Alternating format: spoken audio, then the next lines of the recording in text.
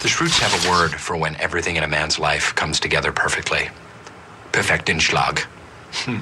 Right now, I'm in it. I finally get a chance to prove myself to corporate. I am assembling a competent team. I am likely a father. I am so deep inside of Perfektenschlag right now. And just to be clear, there is a second definition, perfect pork anus, which I don't mean.